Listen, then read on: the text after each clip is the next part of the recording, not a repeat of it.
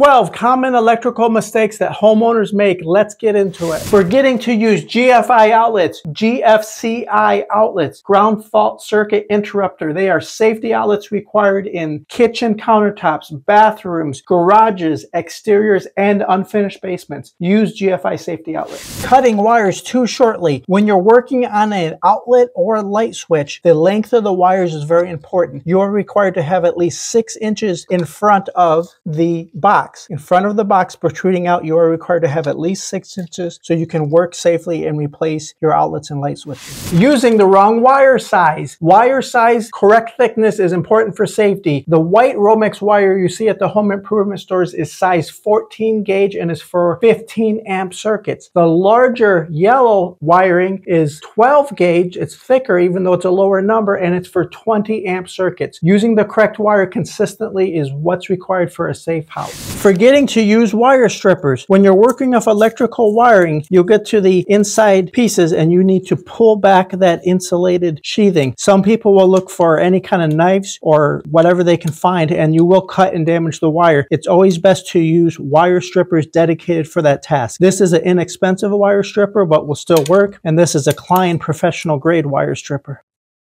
Clean and smooth, no damage to the wire. Incorrectly using electrical caps. Some homeowners will mix match the wires and they won't get a good snug fit on the electrical caps. There are newer options out there that are excellent for the do-it-yourselfers the first time. These are an example of push connectors where you literally just push the wire in and it will form a tight bond to your other wires. Or they have these updated lever lock Wago connectors. You simply open the levers and what's happening is it loosens up the opening there you insert your wire, clamp it down, and it is tight and then you would connect to your next wire and continue on that way. These come in two all the way up to five configurations. They are safety UL rated and they make working on electrical circuits a lot easier. Connecting to the wrong side of an outlet. When you look at your outlet, they're polarized. One side is larger than the other. The larger size is the neutral. The thinner side is the hot. So your black hot wire always goes to the gold colored screw and your white neutral always goes to the silver colored screw. It is required to have that polarity correct, otherwise you'll have a, a, defective outlet and always connect a ground if available to the green screw provider. Forgetting to use tamper resistant outlets. Tamper resistant outlets or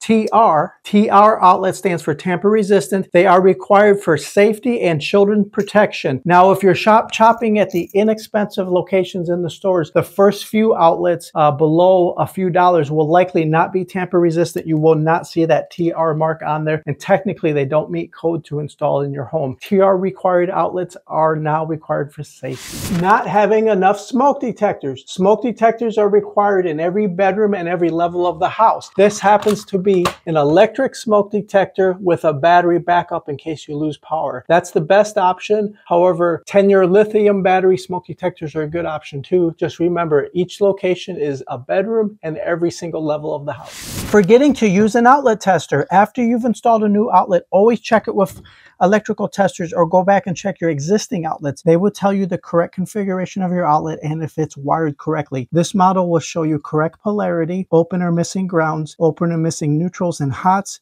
Installing outlets too high or too low. The correct placement for outlet box height is approximately between 12 and 15 inches to the bottom of the box for your electrical. If you're nailing in a new work box and you don't have a tape measure handy for that placement, you can simply use the length of the hammer. Put that work box right underneath the length of a standard framing hammer and you will be right on for the perfect height. The height of your electrical outlet boxes should be between 12 and 15 inches from the height of the floor. Sizing circuit breakers. Now circuit breakers have to be sized to the wire. Also keep in mind what they're really protecting is the wire in the house, not the individual. You can still get shocked on a circuit breaker protected circuit. It is protecting the wire in case of overload so the wire will not have too much amperage electricity pushing through it and it will not damage the wire or start a house fire. Always size your circuit breakers correctly. Forgetting to check your electrical circuits before working on them. Everybody knows you need to turn off your circuit breakers or fuses before working on electric, but also remember to double check before touching or working on electric circuits that circuit is still live. And if you don't trust your non-voltage contact, you can use more than one to verify the results. Not putting enough wire fasteners or staples in. When you're installing a new electric box, whether it be a switch or light box or junction box, anything like that, you are required to have a wire staple within 12 inches of all boxes and then two up the wall on the stud. And then on your long runs, you can go as far as apart as four and a half feet, but don't forget the wire staple.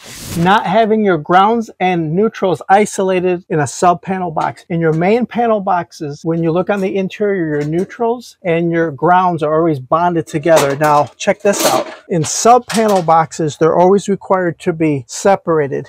Here in the back of the panel, you can see the copper ground wires are isolated over there all by themselves, and the neutral wires are over here separated all by themselves. They are split and isolated because this is a sub panel box and that's required for safety different than the main panel box. Even though I'm a licensed contractor, I do encourage you guys to learn your own electrical work and be competent enough to do this work yourself. Hey, you got this. You can do this. I bet you can do it yourself.